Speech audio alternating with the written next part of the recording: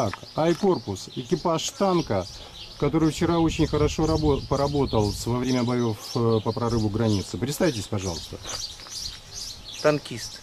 Понятно. Вы представьтесь, пожалуйста. И вы тоже, просто. По- Позывные Солнце. скажите. Можно говорить позывные, это для Ай-корпуса. Ну, Ксенс, а эти два танкиста, потому что другого Да. Понятно. Расскажите про вчерашний бой. Что было? Ничего. Выехали, отстрелялись красиво. Сделали свою работу. Отстояли свою землю. Понятно. С, э, поте- потери с их стороны есть. Ну, есть. Ну, с- Незначительные. Парочку. По нашим меркам незначительные. Хотелось бы больше, да. как у вас э, с боекомплектом, со всем прочим? Ну, Заполняемся. заполняемся по мере опустошения. Понятно. Э, э, Сегодня, насколько мне известно, нам противостоит довольно-таки крупная с- э, броневая группировка противника. Не пугает вас это? Как вы будете Да, действовать? против нас все время стоит какая-то крупная группировка противника. Поэтому, как бы, если бы мы пугались, мы бы сюда не шли. Понятно. Так, ребята, вот посмотрим. Это наш экипаж. Вот их доблестные. А туда мы проедем из Не, не проедете, ребят, давайте уезжать. Ребята, не проедем. Наш танкист позывной Алтай. Он- Алтай, вот как ты здесь оказался? Ну как? Сначала э, смотрел, что творится на Украине. Но когда увидел, э, что, что случилось в Одессе и в Мариуполе, сказал, что все, ждать нельзя. Поэтому э, собрался и при- собрался, приехал. Приехал, при- при- приехал, полу- получил там, э, переучился на танк, получил. И воюю потихоньку, Ты кадровый офицер? да. Это хорошо, нам кадровых офицеров не хватает. Скажи, вот э, э, принципиальное отличие этой войны от всех прочих, вот в чем проблема главное ополчения, в чем преимущество ополчения? Что нам нужно сделать для того, чтобы победить противника, который в последнее время быстро учится и привлекает иностранных наемников?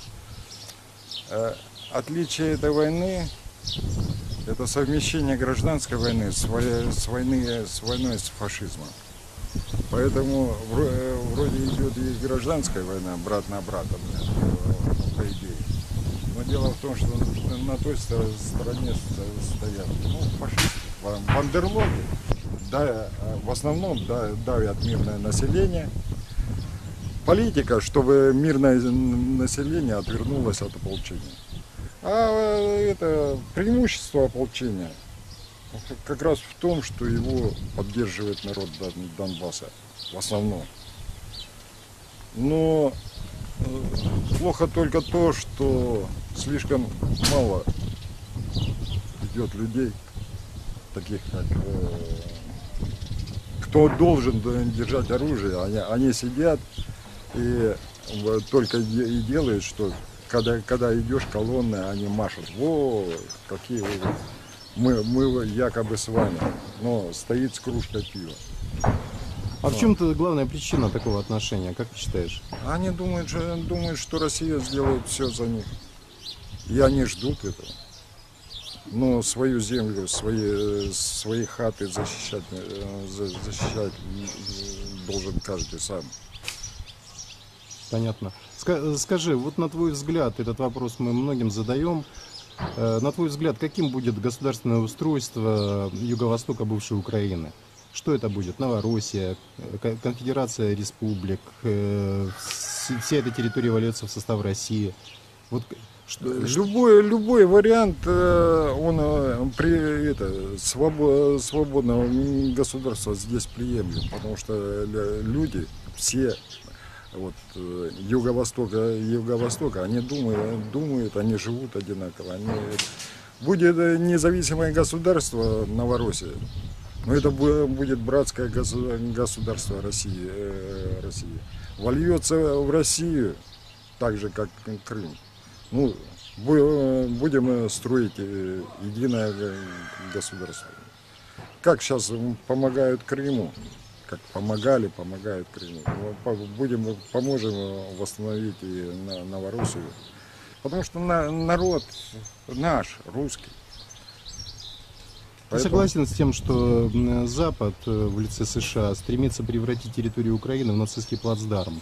То есть, э, если э, Россия нам не поможет, то в конечном итоге будет нанесен удар по ней, и этого, собственно, мировые силы уже не скрывают. Ну, ну, это- Война идется против России.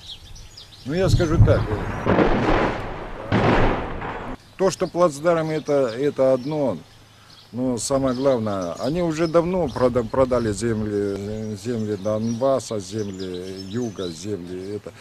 Продали американцы, э, американцам, всеми этими, Байденом там. э, Поэтому это э, народ этот, который вот здесь вот живет, вот здесь он не нужен. Скорее всего, сделают, бу- бу- будут также качать свой газ там этот э, сланцевый. Это, это, а по- поэтому и вышибают э, в основном мирное население, потому что люди-то им не нужны. То есть это не война, по большому счету, это ген наций. Да,